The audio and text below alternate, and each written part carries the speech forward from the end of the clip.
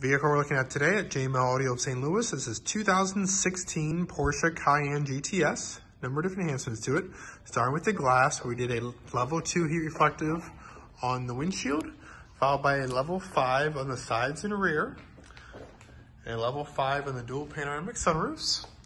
Also performed our environmental package on the door structure, taking the original tin can, making it a lot more solid on the front doors and a stage two environmental on the rear doors. Helps the sound quality of the factory audio system as well as the insulation and ride quality as well. If you'd be of further assistance to you, feel free to give us a call anytime, 636-343-2020, or send us an email through our main website, which is simply jmlaudio.com. And be sure to like and subscribe your YouTube channel for upcoming vehicles. Thank you so much.